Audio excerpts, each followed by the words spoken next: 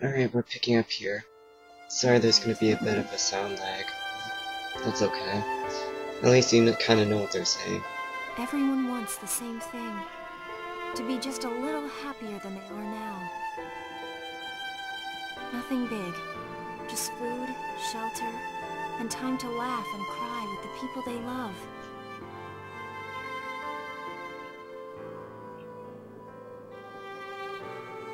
That's enough to make them happy.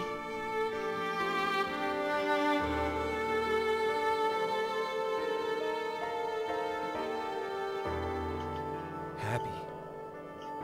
What does that even mean? Now you can kind of see what the whole uh, whole progress of finding happiness is, and it's kind of understandable to some extent. But then again, Yuri is still one of those clean-cut Japanese RPG characters who has some kind of emotional baggage. And so keep passing whatever. Now, I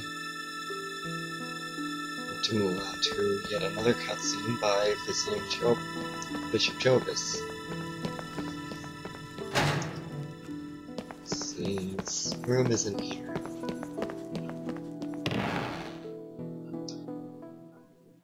Now, this this setup is kind of like many Japanese RPGs. It's kind Bishop of Jovis! the whole tragic instance, but I am still, if you keep watching Are it, you you, all you'll right? s- Yes. understand what We met will Amon happen. So like you told us to. We met your friend too. Was he doing well? Yeah. He's having a great time. Is that right? You see? Nothing to worry about. Just rest and get your strength back. No. This is the end for me. You mustn't say that. Yeah, come on. What would the people in this valley do here without you? That is for my followers to say, children. I have taught them everything that I can. I think I Don't have say that. had enough saying Listen. spoilers.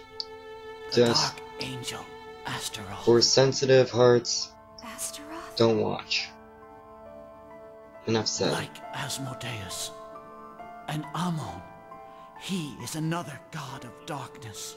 Someone has made a soul pact with him. And guess who that person is? I don't know who this person is. But when you meet them,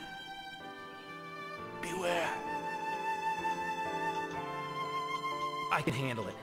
I'll drop him just like a bad habit.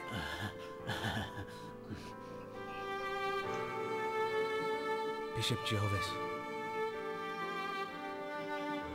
Please. Forgive me. I swear to God I didn't mean it. I never meant to sacrifice the people of this valley to save Russia.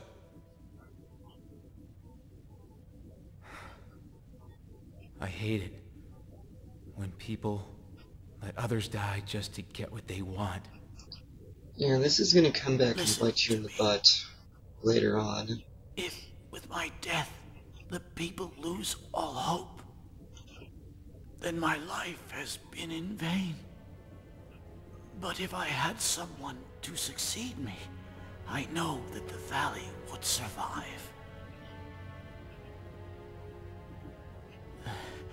Then, for the first time, it could be said that I live on among my people. Don't you think so? Jovis. Yes. Uh, my son.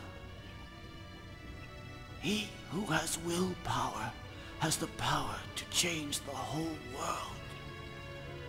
Whether that change be for good or for evil depends on the heart of that person. We're mortal. We live in fear and... and doubt. There's no shame in admitting that.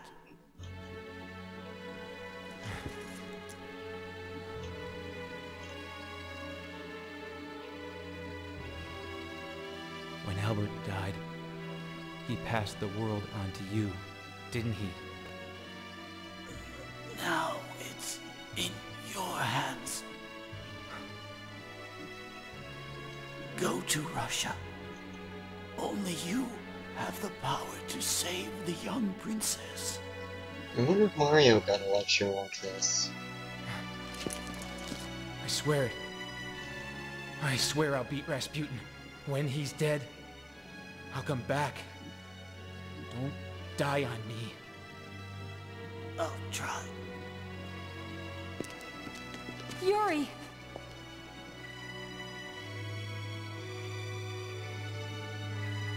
Brave soul. He takes upon himself the burden my friend and I bore together. Now I have finally fulfilled my promise. Now I can face my friend. Bishop? Please give him my thanks.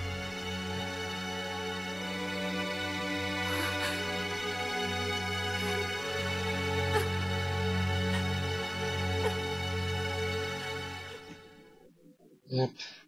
Things are getting pretty tragic, and now for another upside, more cutscenes!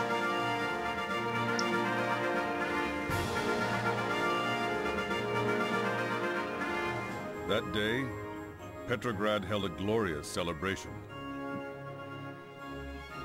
Was Kano A narrating victory this? parade for the Tsar returning from his tour of the It's Eastern probably the same Front. voice actor that was that voice. Although much love for him was lost on that bloody Sunday of a decade ago. On this day, the people raised their voices in celebration of their Tsar.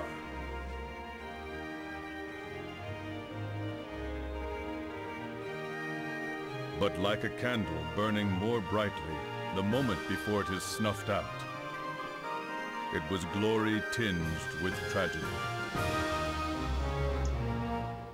And it's not over yet. We still have like a few more minutes. We have to see this part, which doesn't do. How on It earth am I says the supposed to go to status quo that we have to change. without even knowing if Anastasia is all right? What are you saying? But this is an important night for you. No, for all of Russia.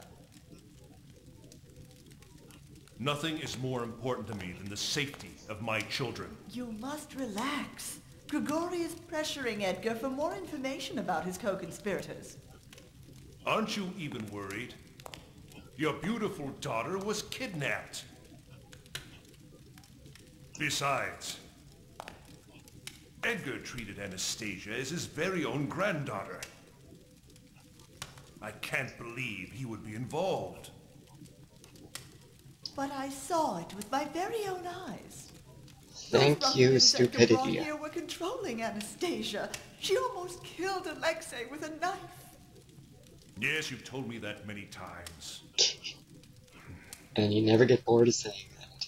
When this banquet is over, I'm going to question Edgar myself. There's no need, Your Majesty. Ah, Rasputin. Have you found anything? Yes.